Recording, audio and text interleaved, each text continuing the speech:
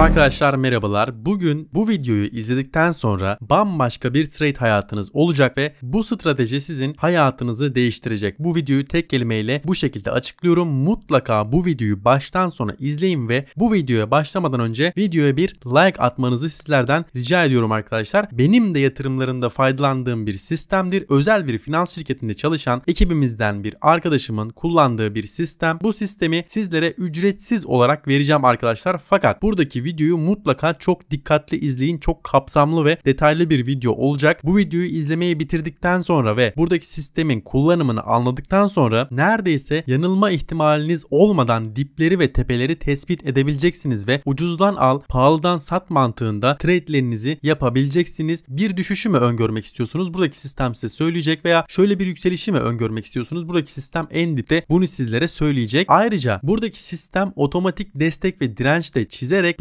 bizleri bir zahmetten kurtarıyor. Özel ayarlarıyla buradaki sistemi sizlere teker teker göstereceğim. Çok önemli bir video arkadaşlar. Gerekli önemi buradaki videoya gösterin ve buradaki videoya başlamadan önce kanalımıza abone olup videoyu beğenmeyi unutmayın. Bu sistem için sizlerden tek isteğim bir beğeni arkadaşlar. Şimdi sistemin çalışma mantığını sizlere anlatmadan önce sinyallerini biraz inceleyelim. Birazdan zaten sistemin nasıl çalıştığını sizlere çok detaylı bir şekilde anlatacağım. Pür dikkat izleyin arkadaşlar. Açın siz de benimle beraber TradingView'ı aynı şekilde kontrol edin. Bitcoin'de, tüm kripto paralarda, hisse senetlerinde, Forex'te ve Binomo'da yani alıcının ve satıcının olduğu bütün grafiklerde sistemimiz çalışıyor. 1 saatlik grafiklerde mükemmel bir şekilde çalışıyor sistemimiz. Diğer bütün zaman dilimlerinde de bakın bütün A'dan Z'ye bütün zaman dilimlerinde de sistem kusursuz bir şekilde çalışıyor. Yani hem tüm zaman dilimlerinde hem de tüm varlıklarda çalışan bir sistemdir ve uzun vade olsun kısa vade olsun bizlere mükemmel sinyaller veriyor arkadaşlar buradaki sistemimiz. Ayrıca yine ek bir bilgi vermem gerekirse buradaki sistemi normal mum grafiklerinde kullanıyoruz. Buraya geliyoruz arkadaşlar. Normal mum grafiklerini seçiyoruz. Buradaki sistemimizi normal mum grafiklerinde kullanacağız. Şimdi arkadaşlar baktığımız zaman şöyle sisteme iki indikatörlü bir sistem olduğunu görüyorsunuzdur. TradingView'da da zaten iki indikatöre kadar izin veriliyor ve bu da bizlere bir avantaj sağlıyor. Yani buradaki sistem için herhangi bir şekilde TradingView'a ücret ödemenize gerek yok. Zaten kanalımızda paylaştığımız son zamanlardaki çoğu indikatörler iki indikatördür arkadaşlar. TradingView'a ücret ödememeniz için. Ayrıca kendimin, ekibimin ve yüzlerce izleyicimizin ana gelirlerini elde ettiği kendi stratejim Kaldıraç Pro sistemime katıl butonundan erişim sağlayabilirsiniz. Katıl butonuna üye olduğunuzda sistemin kurulumunu, kullanımını hepsini öğreniyorsunuz arkadaşlar ve süresiz olarak kullanabiliyorsunuz sistemin ayarlarını gördükten sonra. Soran arkadaşlarımız olmuş TradingView'dan üyelik almamız gerekiyor mu diye. Hayır arkadaşlar benim sistemimi kullanmak için ikiden fazla indikatör kullanıyoruz. Fakat bunun için TradingView'a bir ücret ödemenize gerek yok. Onun da nasıl yapıldığını katıl butonunda söylüyorum sizlere. Yani katıl butonundaki benim sistemimi aldıktan sonra herhangi bir yere herhangi bir ödeme yapmıyorsunuz. Direkt süresiz olarak sistem sizin oluyor arkadaşlar kurduktan sonra. Şimdi arkadaşlar hemen bu çok önemli videomuza geçelim. Öncelikle sistemimizin sinyallerini bir inceleyelim. Baktığımız zaman arkadaşlar Bitcoin'deki son yükselişi çok net bir şekilde tespit edebildiğini görüyoruz bakın buradaki sistemimizin. Çok net bir şekilde buradaki sistemimiz buradaki yükseliş trendini önceden tespit etmiş. Buradaki sistemimizin zaten en önemli özelliklerinden bir tanesi en dipleri ve en tepeleri tespit edebilmesidir ve düşüş ve yükseliş trendlerinin öncesinde bizlere sinyal vermesidir. Daha öncesinde Bitcoin'de olan düşüşü de bakın öngörmüş olduğunu görürüz ve buradaki Bitcoin'de gelen en büyük yükselişlerden bir tanesi bakın burada ne yapmış? 26 binlerden 38 bin dolarlara kadar yükselen buradaki yükselişte burada tespit edebildiğimizi görüyoruz. Aynı şekilde bunun öncesindeki bir düşüş trendini sistemimiz burada tespit ediyor. Onun öncesindeki yükseliş trendini sistemimiz tespit ediyor. Onun öncesindeki en yüksekte bakın en tepede sistemimiz düşüşü tespit ediyor. Onun bir öncesindeki arkadaşlar gerçekten inanılmaz sistemimiz yükselişi bakın burada da tespit ediyor.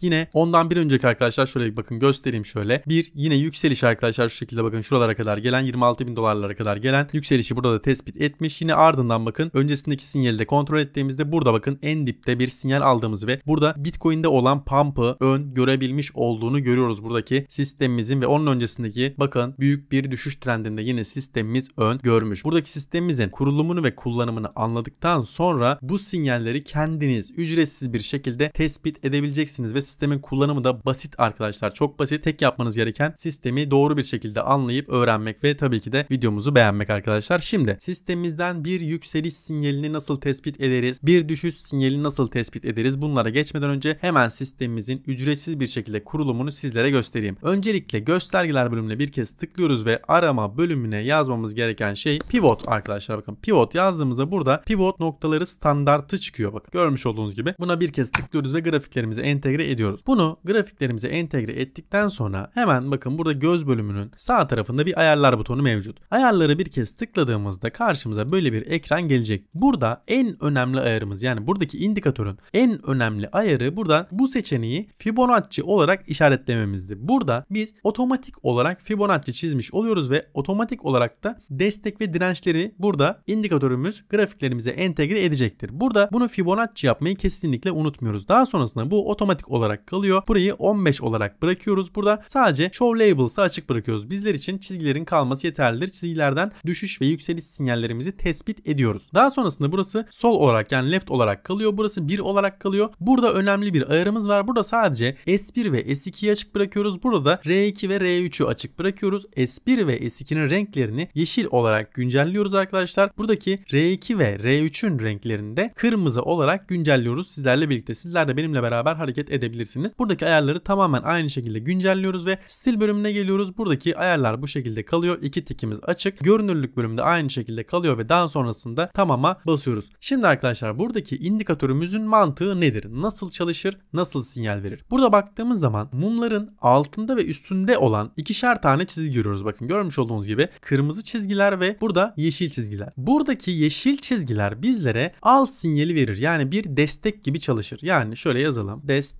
Buradaki yeşil çizgiler destek gibi çalışıyor arkadaşlar. Yani nasıl çalışıyor hemen şöyle bir gösterelim. Şöyle zoom yapıyoruz. Şimdi arkadaşlar S1 ve S2 bizim için buy sinyali yani al sinyali veren iki indikatör. Hemen şöyle yazalım arkadaşlar. Kapsamlı ve çok önemli bir video. Bakın çok detaylı bir şekilde bunu sizlere anlatmak istiyorum. Şöyle yani buy 1 ve buy 2 olarak adlandırdığımızda bu bize neyi söylüyor? İkisi de bizim için al sinyalidir. Yani mumlar buraya da değse bizler için bir yükseliş sinyalidir. Buraya da değse bizim için bir yükseliş sinyalidir. İkisi de aynı oranda güçlü al sinyali veriyor arkadaşlar buradaki indikatörümüzde. Şimdi buradaki indikatörümüzde mumlarımız burada S1'e veya S2'ye değdiğinde biz al sinyali alıyoruz. Ne zaman al sinyali almışız bakın şuradaki mumda. Görmüş olduğunuz gibi bakın tam olarak şu mumda gövdesiyle beraber değdiğinde biz bir al sinyali alıyoruz. Burada mum kapanışında gerçekleşmiş ve bu bize bir al sinyali veriyor. Peki bu al sinyalini başka nerede alabiliriz? Buy 2 yani S2 çizgimize değse de yine aynı şekilde bir yükseliş sinyali alabiliriz. Baktığımız zaman zaten burada mumlar gelmiş. Burayı bir kez test etmiş ve daha sonrasında yönünü yukarı doğru verdikten sonra burayı tekrar bir denemiş ve buradan yine tepki alıp yine yönünü yukarı doğru vermiş olduğunu görüyoruz ve ardından yine yönünü aşağı doğru vererek buraya değip tekrar yönünü yukarı doğru vermiş ve çok güçlü bir yükseliş trendinin başlamış olduğunu görüyoruz. Yani biz burada şunu anlıyoruz. Burada destek gibi çalıştığını görüyoruz buradaki indikatörümüzün ve çok güçlü bir destek arkadaşlar. Zaten sinyallerin geldiği noktaları yani fiyatların tepki aldığı noktaları kontrol ederseniz buradaki çizgilerin ne kadar iyi, ne kadar muazzam çalıştığını göreceksiniz arkadaşlar. Bir düşüş sinyali içinde bakın aynı şekilde burada R2'yi test etmiş olduğunu görüyoruz. R2'yi test ettikten sonra yönünü tekrar aşağı doğru veriyor. Bakın şöyle çizim yapalım. Yukarı doğru çıkıyor. Burayı test ediyor. Daha sonrasında yönünü aşağı doğru veriyor. Yine buradan arkadaşlar yükseliyor. Tekrar bakın yukarıdan bir tepki alıp tekrar aşağı inip tekrar yukarıdan bir tepki alıp bu sefer kıramayıp yönünü tamamıyla aşağı doğru veriyor arkadaşlar. Nereye kadar? Ta ki buradaki yeşil çizgimize kadar. Bu şekilde arkadaşlar fiyatların genel itibariyle buradaki çizgilerden tepki almış olduklarını görüyoruz. Bu bizim için bakın buy 1, buy 2'dir. R2 ve R3 de bizim için sell 1 ve sell 2'dir. Bu iki çizgi bize düşüş sinyalleri verir. Bu iki çizgi de bize yükseliş sinyalleri veriyor arkadaşlar. Şimdi bakın S2 çizgimizin sinyalinden biraz bahsedelim. Burada baktığımız zaman yine fiyatlar bu şekilde gelmiş. S1 ve S2'yi aynı anda kırmış. Baktığımız zaman burada S2'yi de kırmış olduğunu görüyoruz ve buradan bu sefer bir tepki alarak yönünü tamamıyla yukarıya doğru veriyor. Nereye kadar veriyor? Buradaki R2'ye kadar yani sell sinyalimize kadar veriyor. Görmüş olduğunuz gibi arkadaşlar burada Fibonacci'den de destek alarak en güçlü destek ve direnç çizgilerimizi çiziyoruz ve verdiği tepkilere bakın milimlik tepkiler veriyor arkadaşlar. Burada baktığımız zaman burayı çok güzel bakın fitille test ediyor ve ardından tekrar burada bir test ediyor. Yani sürekli olarak buradan tepki alıyor. Kırarsa da bakın bunu çok güçlü bir şekilde yükseliş ve düşüşler yaratıyor arkadaşlar. Yani buradaki indikatörümüzde çok güçlü yükselişleri ve düşüşleri bakın buradaki örnekteki gibi de tespit edebiliyoruz. Dilediğiniz kadar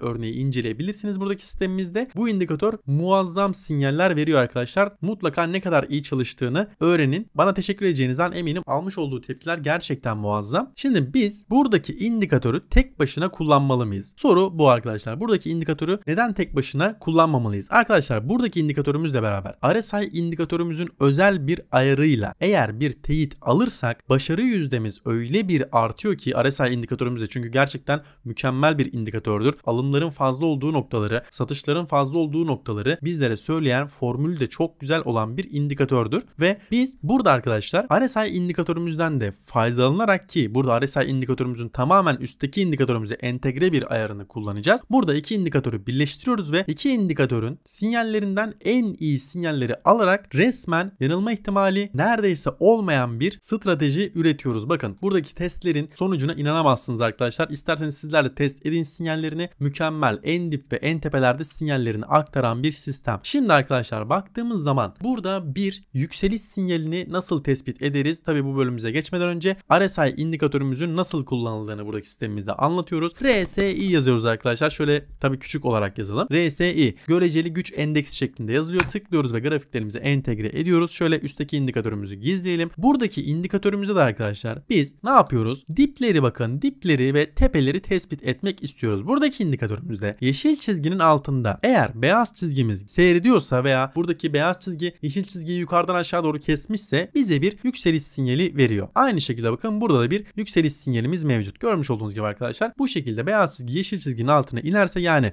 30 seviyesinin altına inerse bizlere bir yükseliş sinyali veriyor. Buradaki sistemimiz seviyeleri de bakın buradan görebilirsiniz. Görmüş olduğunuz gibi bakın burada 28'e düşmüş ve buradan bir al sinyali almışız. Peki bir düşüş sinyali nasıl alıyoruz? Burada beyaz çizgi kırmızı çizginin üzerine çıkarsa yani 70 seviyesinin üzerine çıkarsa bizlere bir düşüş sinyali veriyor arkadaşlar. Bakın görmüş olduğunuz gibi buralarda da bir düşüş sinyalleri veriyor bizlere indikatörümüz. Bakın burada bir düşüş sinyali var. Burada da burada da bir düşüş sinyali var. Bu şekilde indikatörümüzden yükseliş ve düşüş sinyallerimizi tespit ediyoruz ve seviyeleri de buradan kontrol ediyoruz. Bakın seviyeleri kontrol etmek isterseniz buradan kontrol edebilirsiniz detaylı bir şekilde. Hemen buradaki indikatörümüzün ayarlar bölümüne geliyoruz arkadaşlar. Görünürlük aynı şekilde kalıyor her zamanki gibi. Stil bölümüne geldiğimizde buradaki hareketli ortalama bölümünü kapatıyoruz ve arka planları da kapatıyoruz. Ayrıca orta bandı da kapatıyoruz. Üstteki bandı kırmızı olarak güncelliyoruz. Bakın üstteki çizgiyi kırmızı olarak güncelledik. 70 seviyesi. Buradaki yeşil çizgiyi de 30 olarak güncelliyoruz. Yeşil olarak yani güncelliyoruz burada. Bunları da çizgi haline getiriyoruz ki daha iyi bir görsel alabilelim. Daha sonrasında kalınlığı da en ince de kullanabiliriz ve girdiler bölümünde en önemli ayarlarımızdan bir tanesine geçmeden önce buradaki arka plan renklerini kapatıyoruz arkadaşlar. Hemen girdiler bölümüne geldik burada. RSI uzunluğunu kaç yapıyoruz arkadaşlar? 25 yapıyoruz buradaki sistemimizde. 25 olarak güncelleyelim ve tamama bastığımızdan emin olalım. 25 ayarı burada çok çok çok önemli. Şimdi arkadaşlar buradaki bütün ayarları yaptığımızda karşımızda şöyle bir ekran olması gerekiyor ve daha sonrasında adsız kaydede bir kez tıklıyoruz. Kaydettik. Buradaki sistemimizi şu an kaydettik ve şimdi buradaki sistemimizden nasıl bir yükseliş sinyali alırız? Nasıl bir düşüş sinyali alırız? Hemen bu bölümümüze geçelim arkadaşlar. Bitcoin'de olan en son yükselişin sinyalini bir kontrol edelim ve buradan direkt olarak bir yükseliş sinyalini nasıl tespit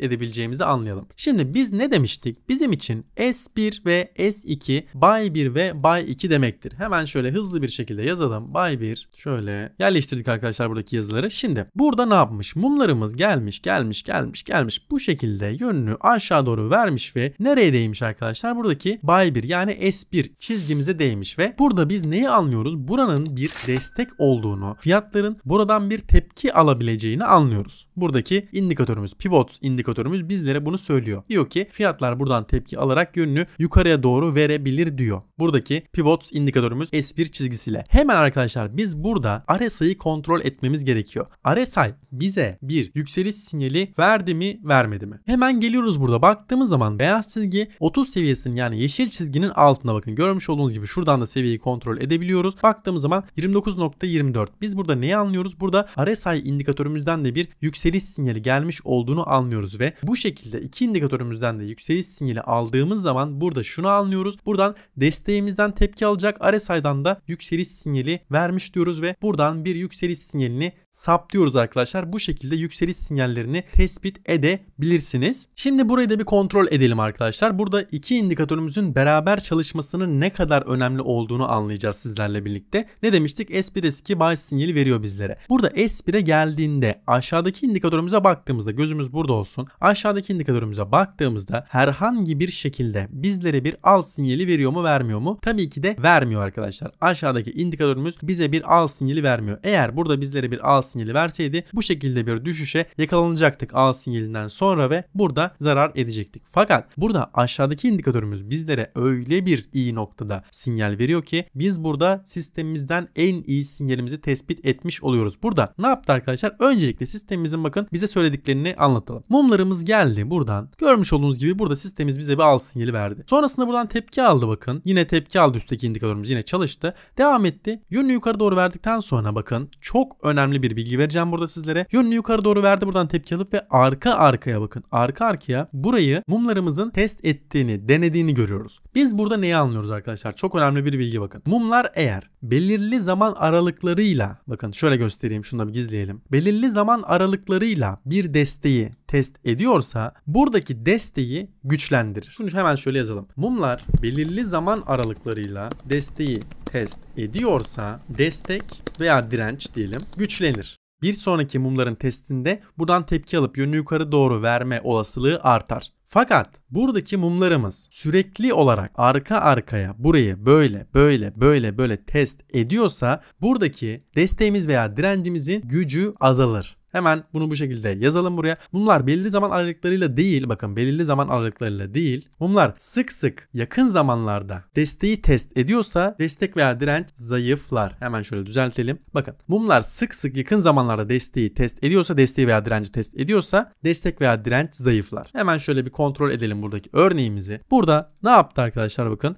Geldi buradan test etti. Daha sonrasında bakın buradan yönünü yukarı doğru verdi. Daha sonrasında bakın arka arkaya buraya denemeler yapıyor. Hani bir kapıya bir balyozla mesela arka arkaya vurduğunuz düşünün. Vurduğunuz düşünün. Bakın burada arka arkaya vuruşlar yapıyor ve zayıflatıyor. Bakın burada zayıflatıyor ve buradaki destek zayıfladığı için artık kırılıyor. Bakın mum ne yaptı? Aşağı doğru geldi. Kırıldıktan sonra bakın aşağıdan S2'den bu sefer bir buy sinyali aldı. Yönünü yukarı doğru verdi. Ne yaptı bu sefer? S1 direnç olarak çalıştı ve daha sonrasında bakın yönünü tekrar aşağı doğru verip buradaki S2'yi de kırmış olduğunu görüyoruz arkadaşlar. Buradaki mumlarımızın. Burada zaten bakın arka arkaya denemelerde görüyoruz. Bu da arkadaşlar desteği burada zayıflatıyor. Şimdi buradaki analizimizden sonra bir şeyi kontrol etmemiz gerekiyor. RSI arkadaşlar bakın burada şuradaki noktalarda RSI hiçbir şekilde bizlere sinyal vermiyor. Ne zaman veriyor sinyaline bakın tam olarak şuradaki mumda. Yani en dipte şu mumda. Tamamen bakın. Al sinyali aldığımız nokta buradaki sistemimizde bu. Yani düşünsenize burada arkadaşlar yani şurada bir yükseliş sinyali alıyoruz ve fiyatlar yönünü buraya kadar veriyor. Yani Bitcoin'de olan şuradaki yükselişi basit bir şekilde bakın basit bir şekilde ön görebiliyoruz. Tamamen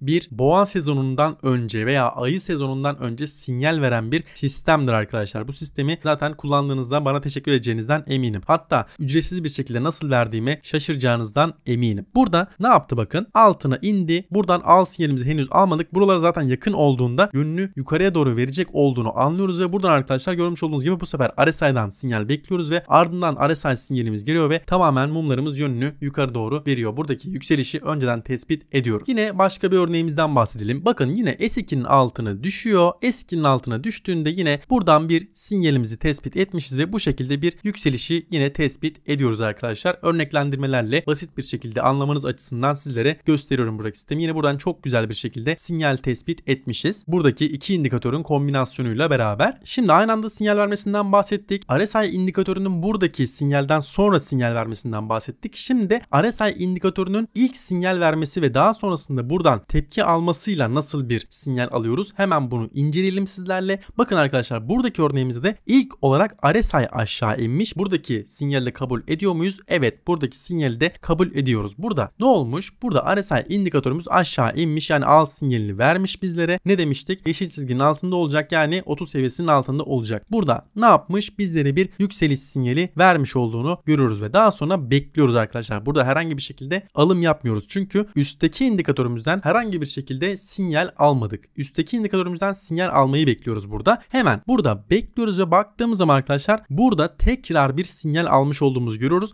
Hem RSI'dan RSI'dan gelse de olur gelmesi de olur bu arada. Çünkü zaten bir sinyal vermişti. Hem de üstteki S1 çizgimizden bakın. S1 çizgimizden bir sinyal almış olduğumuzu görürüz sizlerle birlikte. Yani bir buy sinyali almış olduğumuzu görüyoruz. S1'de S2'de de aynı şekilde buy sinyali alıyoruz. Burada baktığımız zaman zaten sinyalimizi almıştık ve bu şekilde şuradaki noktada bir al sinyali almışız ve buradan yönünü tamamıyla yukarı doğru vermiş olduğunu görüyoruz ve daha sonrasında arkadaşlar buradan yönünü bir aşağı doğru vermiş ve buradan tekrar bir test etmiş S1 ve tekrar yönünü yukarıya doğru vermiş olduğunu görüyoruz ve yine burada S1'in ne kadar iyi çalışmış olduğunu görüyoruz sizlerle birlikte. Bu şekilde arkadaşlar yükseliş sinyallerini tespit edebilirsiniz. Pivot ve RSI indikatörlerinin kombinasyonuyla en iyi şekilde yükselişleri tespit edebiliyorsunuz. Peki buradaki sistemimizden nasıl bir düşüş sinyali tespit edebiliriz? Bakın arkadaşlar öncelikle şöyle bir bilgi vermek isterim ki sizlere eğer bir yükseliş sinyali %95 %97 arasında sinyal veriyorsa burada düşüş sinyalleri de %88 %90 arası sinyaller veriyor. Yani ufak bir şekilde yükseliş sinyalleri burada daha başarılı diyebiliriz. Fakat bütün düşüş sinyallerinde aynı güçte algılayabiliriz. Burada çok düşük bakın çok düşük bir oranda hata payı daha yüksek. Burada düşüş sinyallerinde bunu zaten testlerinizde sizler de göreceksiniz. Düşüş sinyalleri yükseliş sinyallerine oranla çok az daha bir hata payı var diyebiliriz. Baktığımız zaman arkadaşlar şimdi burada yine aynı şekilde buradaki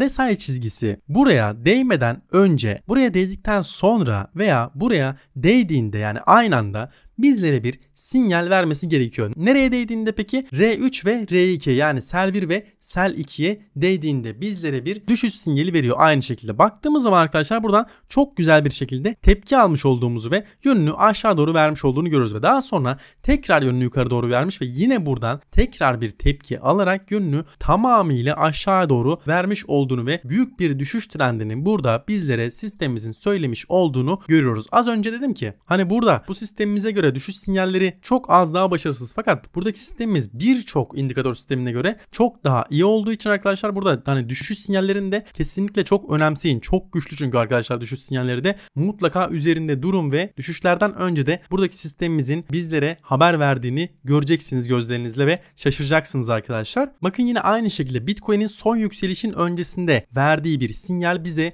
bir düşüş trendinin başlayacağını söylüyor arkadaşlar. Görmüş olduğunuz gibi bakın burada yukarıya doğru çıkmış olduğunu görüyoruz ve burada mumumuz yukarı doğru çıkmış ve daha sonrasında çok sağlam bir bakın satışlar gelmeye başlamış. Ardından biraz düz ilerlemiş ve tekrar yönünü aşağı doğru vermiş olduğunu görüyoruz arkadaşlar. Ta ki buradaki yükseliş sinyalimize kadar. Bu şekilde arkadaşlar sistemimizden düşüş sinyallerini dediğim gibi tespit edebiliyorsunuz. Bakın yine aynı şekilde burada R2'ye değmiş olduğunu görüyoruz mumlarımızın. Burada RSI bakın üstte bir sinyal vermiş. Yani kırmızı çizginin üstünde beyaz çizgimizi görüyoruz. Yani 70 seviyemizde burada 70 seviyesinin üzerine çıkmış olduğunu gördüğümüzde bekliyoruz. Bakın buraya değdikten sonra yönünü tamamıyla aşağı doğru vermiş olduğunu ve çok güçlü bir düşüş trendinin yine buradaki sistemimiz tarafından bize bildirildiğini görüyoruz arkadaşlar önceden ve fiyatlarında düşeceğini mi artacağını mı buradaki sistemimizin bizlere çok net olarak söylemiş olduğunu görüyoruz arkadaşlar arkadaşlar sizlerle birlikte. Tek Bitcoin'e değil bütün arkadaşlar alıcının ve satıcının olduğu şuradaki mum grafiklerini gördüğünüz bütün grafiklerde sistemi kullanabilirsiniz. Çok beğeneceğiniz bir sistem olduğunu göreceksiniz. Sizlere çok detaylı bir şekilde anlatmak istedim arkadaşlar buradaki sistemi. Tek tek iki indikatörde anlatmak istedim. Buradaki S1'in ve S2'nin R2 ve R3'ün değerini bilin arkadaşlar. Çok güzel bir şekilde bizlere sinyallerini aktarıyor ve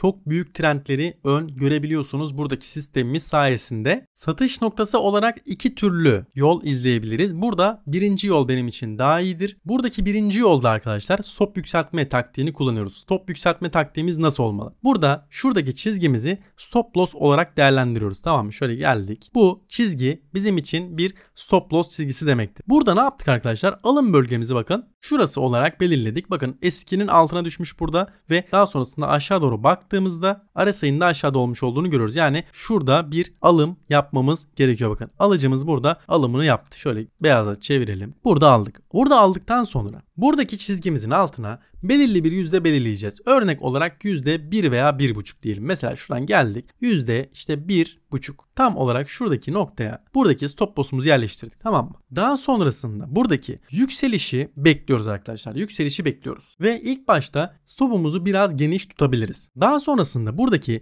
yükseliş başladığında bakın şunu fiyatlar olarak değerlendirelim. Fiyatlar bu şekilde yükseldi, yükseldi, yükseldi. Biz ne yapıyoruz? Stopumuzu bozuyoruz ve buradaki aynı şekilde stopumuzu yukarıya çıkartıyoruz. Stop loss noktamızı alım bölgemize koyarsak artık zarar etme ihtimalimiz de kalmıyor. Yani isterse aşağı doğru bir fitil atsın yine de zarar etme ihtimalimiz kalmıyor. Çünkü Burada alım bölgemize zaten stopumuzu koymayı başardık. Burada daha sonrasında bekliyoruz arkadaşlar. Yükseliş devam ettikçe buradaki stopumuzu ne yapıyoruz? Yükseltiyoruz. Tekrar yükseliş devam ettikçe ne yapıyoruz? Stopumuzu yükseltiyoruz. Bu şekilde stop loss'la fiyatları takip ediyoruz. Yani fiyatları kovalıyoruz stop loss'umuzla. Stop loss buradaki fiyatları takip ediyor, takip ediyor, takip ediyor ve örnek olarak bakın burada fiyatlar yükseliyor. Daha sonrasında bakın stop loss'umuz buradayken fiyatlar yönünü aşağı doğru veriyor ve burada stop oluyoruz ve burada karı cebimize atıyoruz arkadaşlar. Çok karlı bir şekilde trade yapmış oluyoruz. Bu birinci taktiğimiz. Stop yükseltme taktiğimiz. Bu şekilde arkadaşlar bu taktik buradaki sistemde kullanılabilir. İkinci taktiğimiz ise pivot indikatörümüzün ayarlar bölümünde mevcut. Bakın burada P işareti mevcut. Görmüş olduğunuz gibi. Buradan buna tıklıyoruz ve tik işaretini açıyoruz. Burada bir alım sinyali aldığımızda alım yaptıktan sonra satışımızı burada turuncu çizgimizde gerçekleştirebiliriz. Bu da ikinci satış taktiğimizdir arkadaşlar. Birincisi stop yükseltme ve fiyatları stopla takip etme taktiği. İkincisi de arkadaşlar ortadaki turuncu çizgiye değdiğinde satış yapma taktiğidir. Buradaki taktik belirleme yani take profit ve stop loss belirleme iki yönteminden bir tanesini sizler seçebilirsiniz arkadaşlar. İkisi de çok iyi taktiklerdir. Bana göre birincisi daha iyidir arkadaşlar. Bunu da altını çizmek isterim. Çok garanticiyim diyorsanız mesela S2'de bir sinyal aldığınızda S1'de çıkış yapabilirsiniz. Fakat böyle bir şey yapmanızı çok fazla tavsiye etmem. Çünkü buradaki sistem çok güçlü yükseliş ve çok güçlü düşüşleri bizlere söyleyen bir sistemdir arkadaşlar. Bakın yine görmüş olduğunuz gibi bir örneğe daha denk geldik. Burada al sinyali, burada al sinyali. Daha sonrasında bakın yönünü aşağı doğru veriyor. Daha sonrasında tamamıyla bir düşüş trendinin başlangıcını görüyoruz. Burada ne yapmış burada bakın P'ye değmiş olduğunu görüyoruz sizlerle birlikte. Tamamıyla R2'den P'ye kadar bir yolculuk yapmış olduğunu görüyoruz. Burada yine P çizgisinin ne kadar iyi bir şekilde take profit olarak yani kar al noktası olarak çalışmış olduğunu da görüyoruz. A'dan Z'ye 4 dörtlük bir sistem arkadaşlar. Mutlaka buradaki sistemin üzerine düşün. Çok beğeneceğinizden kesinlikle eminim. Buradaki videonun karşılığını vermek isterseniz de kanalımıza abone olup videoyu beğenebilirsiniz. Beni Instagram'dan takip etmek isterseniz de Oguzhan Kocal 35 Instagram hesabımı takip edebilirsiniz arkadaşlar. Reels videolarıyla orada da karşınızdayım. Ayrıca katıl butonundan kendi stratejim kaldıraç pro'yu kullanan arkadaşlarımız için bir bilgi vermem gerekirse benim sistemimi MaxG borsasında benim referans linkimle kullanırsanız vadeli işlemler cüzdanınıza ilk kayıttan sonra 3 iş günü içerisinde 20 dolar bonus tanımlanıyor ve orada trade yaptıkça yani hacim yaptıkça sürekli olarak vadeli işlemler cüzdanınıza 1000 dolara kadar bonus USDT'ler tanımlanıyor arkadaşlar. Bunun altını çizmek isterim. Sizler için çok özel bir fırsat. MaxG borsasında ben işlemlerimi yapıyorum. Sizlere de tavsiye ediyorum arkadaşlar. Katıl butonunda yer verdiğim kendi stratejim Kaldıraç Pro ve MaxG borsası referans linkimi açıklama ve yorumlar kısmına ekleyeceğim. Mutlaka arkadaşlar edinin hayatınızın değiştiğini göreceksiniz. Yani direkt olarak bir profesyonel trader gibi trade yaptığınızı göreceksiniz. Bugünkü videomuzda da arkadaşlar sizlere gösterdiğim taktikleri çok iyi öğrenmişsinizdir umarım. Çok çok önemli bir video oldu. Çok beğeneceğinizden ve çok başarılı trade'ler yapmanızı sağlayacağından emin olduğum bir sistem. Mutlaka üzerinde durun. Gerekirse kağıt kalemle buradaki sistemi ezberleyin arkadaşlar. Çok beğeneceğinizden kesinlikle eminim. Bizi izlediğiniz için çok çok teşekkür ederim. Videomuzu beğendiyseniz lütfen bir like'ı bizlere çok görmeyin ve kanalımıza ailemize dahil olmak isterseniz de kanalımıza abone olabilirsiniz arkadaşlar. Sizleri gerçekten çok seviyorum ve bir sonraki videomuza kadar da sizleri çok özleyeceğim. Kendinize çok çok iyi bakın. Sağlıcakla kalın.